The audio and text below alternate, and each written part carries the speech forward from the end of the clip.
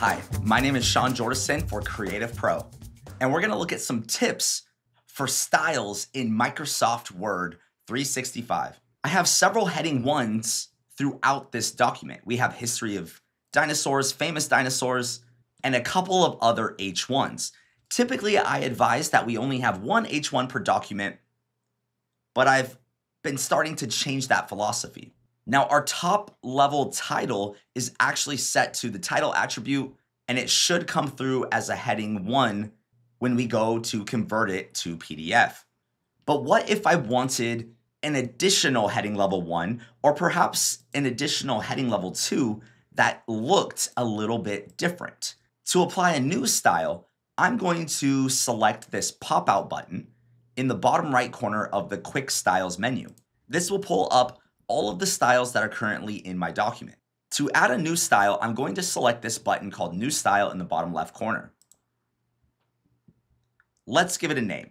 I'm going to name it H2 alternate.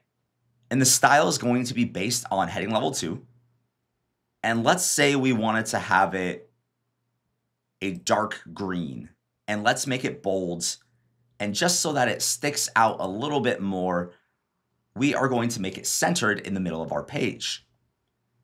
Let's go ahead and select OK.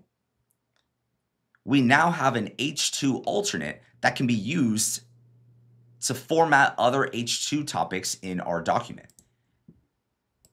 And when we go to convert it over to PDF, all of our H2s are going to come through just the way that they should.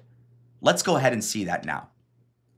To save this file, to retain all of the hard work I've done in Microsoft Word, I'm going to select File, Save As, and let's change the drop-down menu from Word document to PDF.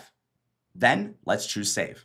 I'm going to open up my new file in Adobe Acrobat, and let's jump right to the tags panel. And something that I love about this save feature is that the title automatically went to an H1 tag.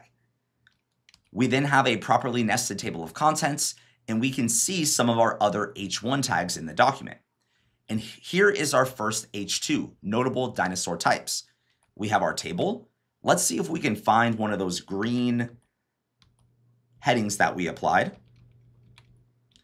And here it is, links and resources. And it properly is tagged as an H2 element. This is a really powerful feature for ensuring that your formatting in Microsoft Word is carried over in Adobe Acrobat when using the File Save As method. That concludes today's tip on using styles in Microsoft Word. Well, I hope you enjoyed this video. If you did, be sure to give it a like and subscribe to our channel. And for thousands more how to articles and tutorials, visit our website, creativepro.com, and become a member today. Thanks for learning with us.